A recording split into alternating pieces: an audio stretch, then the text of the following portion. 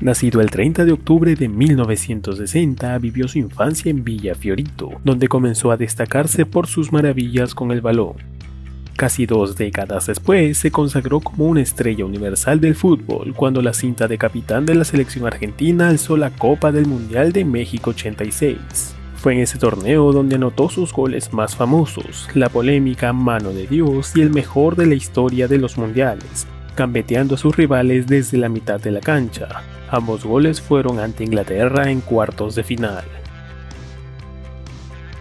Sin embargo, el popular Diego también pasó momentos amargos. Lloró la bronca al recibir la medalla de subcampeón en el Mundial de Italia 90. Además, jugó otras dos Copas del Mundo, España 82 y Estados Unidos 94, cuando pronunció su frase me cortaron las piernas, luego de darle positivo un control de dopaje por efedrina en pleno renacer futbolístico.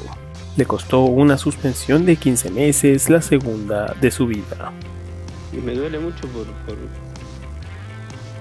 porque me cortan las piernas, me dan, me dan por la cabeza en el momento donde donde uno tiene la posibilidad de resurgir, de un montón de cosas.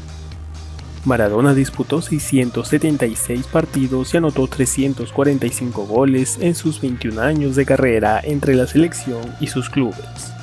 Dio sus primeros pasos con los Cebollitas, la cantera de jugadores de Argentinos Juniors con el que debutó en primera división con 15 años, luego pasó a Boca Juniors donde logró un título de liga.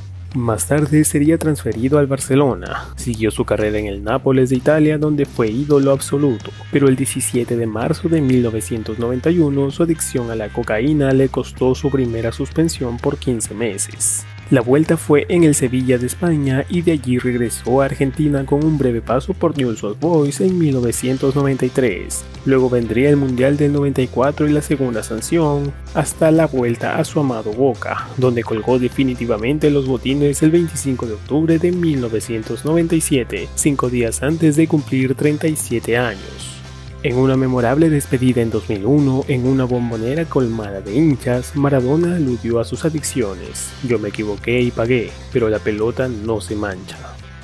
Yo me equivoqué y pagué, pero la pelota no, la pelota no se mancha. Años después, como entrenador, quiso transmitir su mística al albiceleste. Condujo a la selección entre 2008 y 2010 hasta el Mundial de Sudáfrica con Lionel Messi en la cancha, pero su suerte se selló con una dura derrota 4-0 que le propinó a Alemania en cuartos de final.